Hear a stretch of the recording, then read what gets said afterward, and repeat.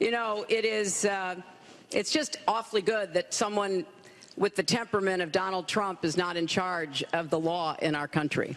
Because you'd be in jail. Secretary.